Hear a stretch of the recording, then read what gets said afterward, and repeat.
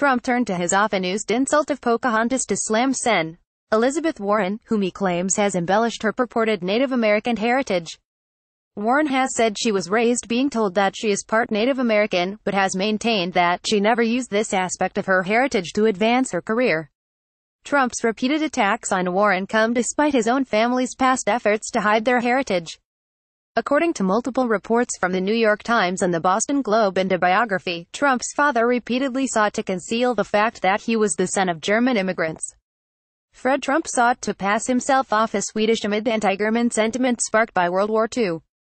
According to the biography The Trumps Three Generations That Built an Empire by Gwenda Blair, Fred Trump denied knowing German and did not teach it to his children. John Walter, a Trump family historian and one of Donald Trump's cousins, said this was an effort to not offend his Jewish customers. He said, You don't sell apartments after the war if you're German, Walter said in the Boston Globe article. So he's Swedish, no problem. Even after World War II, Fred Trump continued to claim he was Swedish, according to Walter. Walter declined to comment to CNN on the family's heritage when reached by phone on Tuesday. CNN also has reached out to the White House for comment. In his book, The Art of the Deal, Donald Trump reaffirmed the myth of his family's origins, writing that his father's father came to America from Sweden as a child. In reality, Fred Trump's father, Friedrich Trump, immigrated to the United States from the German city of Kallstadt as a teenager in 1885.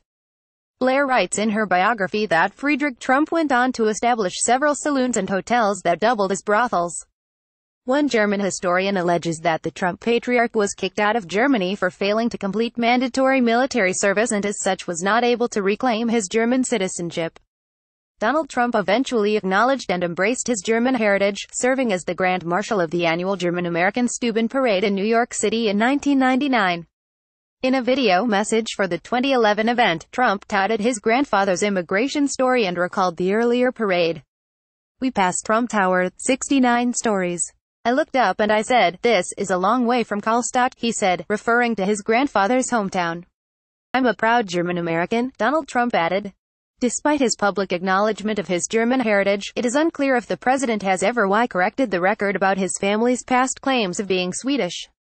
When asked by the Boston Globe why his father claimed he was Swedish, Donald Trump said, well, he spent time in Sweden. And he talked about Swedish because of the fact, you know, we happen to be at war with Germany, which I guess makes sense in a lot of ways, doesn't it? But he spent time in Sweden. When the Globe pressed him as to why he maintained the false story, he said, well, it was never really something discussed. My father spent a lot of time there. But it was never really something really discussed very much. CNN's Dan Merica, Gregory Krieg, Patricia DiCarlo, Chris Frates and Atika Schubert contributed to this report.